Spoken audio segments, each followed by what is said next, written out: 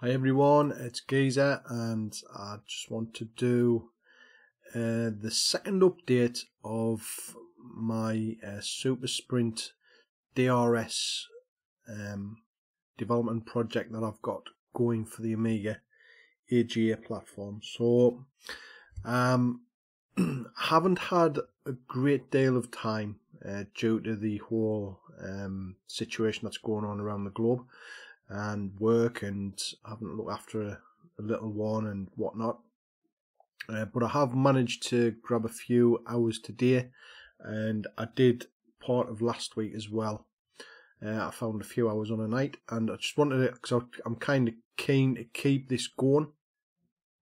Um, kind of keeps me busy on a on a night, uh, rather than sitting down and watching something on Netflix or something like that, where I kind of just I don't know binge t- binge TV just doesn't seem to uh, work for me that well to be to be honest. Um, but but yeah, so I just thought I'd give you a give you an update again. I'm going to try doing them weekly, um, and just see you know see what you guys think, and you know and and just let you know on the on the progress that I've made. So what I've what I've done this week is primarily actually not work on the engine. Um, I've worked on the more kind of tag on bits to the game. Um, and that's been mainly down to time. Um, so what I mean by the tag on bits to the game, I mean like the title screen, the um, the kind of the select, you know, the sort of like the preparing the prepare to race, um, and that type of thing, and the winning cars, that type of stuff. So I'm going to run through what I've done and ex and explain how I've done it and what what's going on, um, and hopefully hopefully you'll find it interesting with a bit of luck. And you know it's the, something to do, I guess, on VE Day. But there there you go.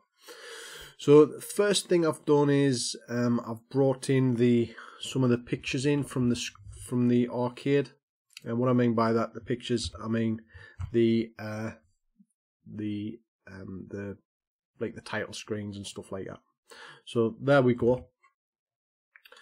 That's a 32 colour IFF that's running there. I'm going to talk about the font um, and this information at the top here because that is actually overlaid. I'm going to talk about talk about that real soon. Uh, but that's just basically displaying an image um, with with the Super Sprint um, title page, I guess. And next thing that we'll have is simply the prepare to race.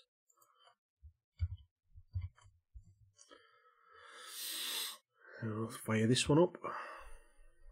And you'll see that one is good as well. So the you know that's where you kind of get an update when you've done a track and you get get the um you get a few spanners and you get to see how how customized your car is and there's a bit on this particular screen there is some animation that goes on around uh, the engine of the car and you, the the guy kind of puts his arm up and stuff. So you know I need to get those into the game but I'm not so much worried about that um, for the for the time being.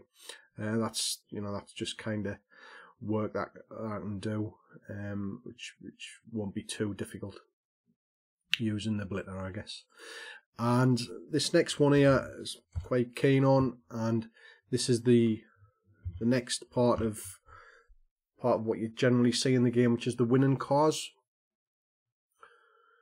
so I wanted to I wanted to focus on this one here. Um, so this is quite an important part of the game.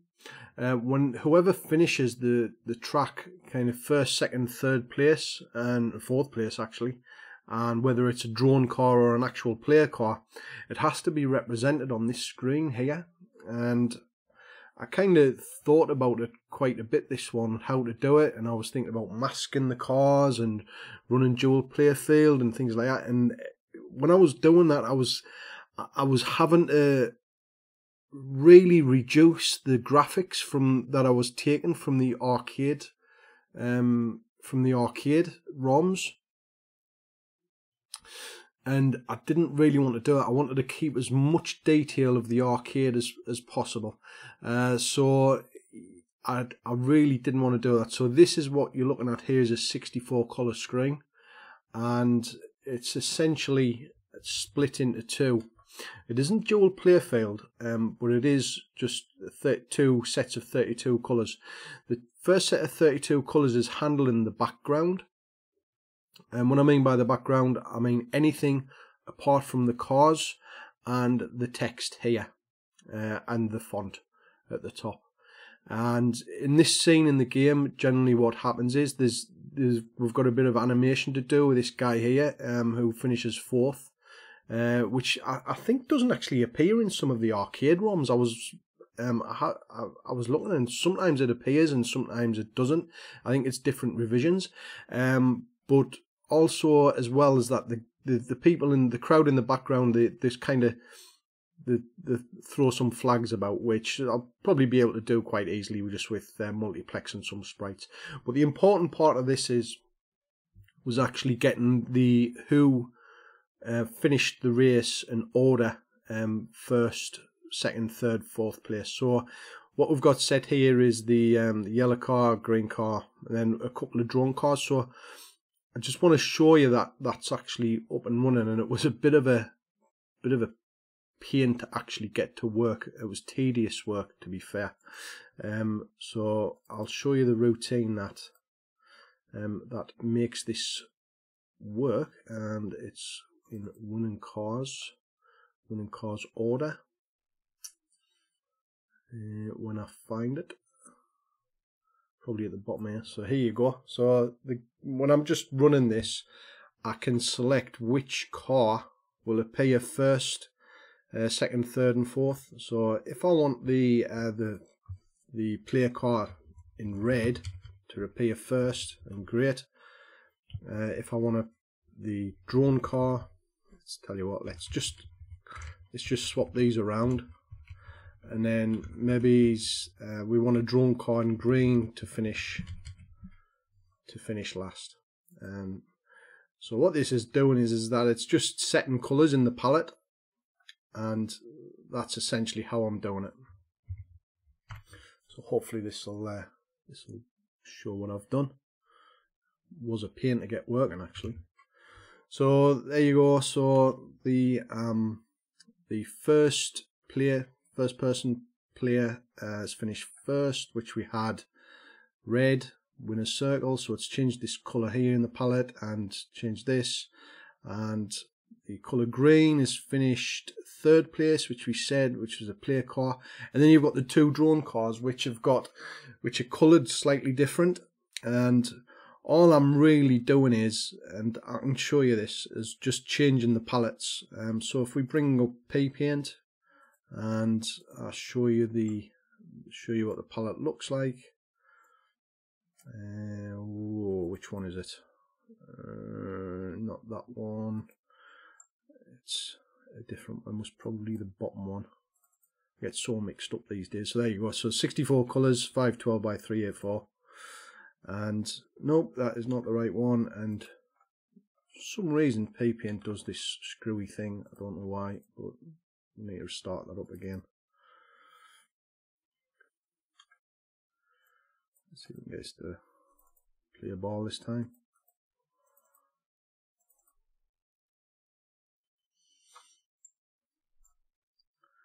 uh, If we go into super sprints, some assets and winning cars, I'm just going to choose probably this one actually.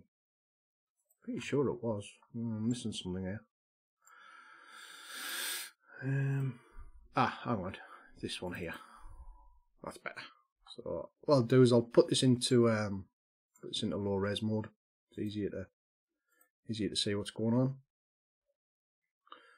So this is 64 color screen and that's the default palette colors and what I've done is set this up so that in the second bank of 32 colors the first two colors relate to the relate to the mechanic guy here. So if I go and change them colors there uh, you'll find that you should change color there you go. So the first two colors are the mechanic the and then we've got a couple of unused colours um, and then you've got the five colours used for the each of the cars all in sort of order. But basically you've got five four sets of five colours after that which de detail which which colour which car to change colour of. And one of one of the colours denotes to the the text and one of the colors is simply the car wing which I think is that one there. So the middle color is the car wing. And so what it allows me to do is I just basically just drop the drop the hue to to um I basically just make these these colors gray uh, when it's a drone car and that that's what happens there when uh, one of these cars is is symboled as a drone and that's that's really really how I'm doing that. Quite straightforward, but it was a bit of a what a bit was quite a bit of tedious work getting the palettes right and remapping the colours, and it, you know it wasn't it wasn't straightforward to be to be fair. But I'm quite pleased with it because I haven't lost any I haven't lost any pixels from the arcade um, the arcade ROMs, which is which is what I was aiming for really. Uh, the last thing I wanted to talk about was the the overlays, uh, the text overlays, and how I'm doing that. Uh, I've created a, almost a, a, single routine um, to to handle this, and at the minute it isn't perfect because I've literally just finished it there. But basically, uh, this is a this is an overlay that handles the score and stuff like that. And it's I haven't done the smaller font, but you know I can show you the I can show you the routine is is what it looks like. At the minute, it's really just kind of skeleton. Uh, push button, insert coin, and what I can do is is that I tell I can call this routine and give it a screen pointer. So if the screen is 4-bit planes, 5-bit planes, or 6-bit planes, this routine will handle it. The character display will handle it. It's you know it's this is actually a slow routine, but I'm not so much worried about it at the minute. Um, and what I can do as well is I can say right because this is a, the font is actually four colors. I can choose which bits to um, bit planes to actually put the the font in, uh, which is quite handy because the screens have different setups. Uh, so, you know, for example, I've got this actually almost, well, albeit buggy, working with the uh, the dual playfield as well. So, just need to uh, quit quit these. Maybe not that one, this one here. So, should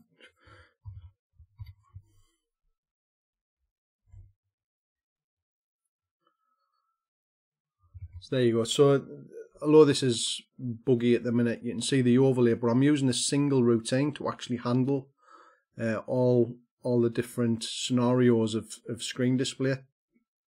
So the reason why that's like that is um, simply because I'm using the copper uh, to change the colours horizontally as well. So I'm doing a copper wait and changing the screen to blue and then I'm changing the screen, changing the color pen to, to green and then to yellow uh, for the first 24, sorry, 32 pixels down, down the screen.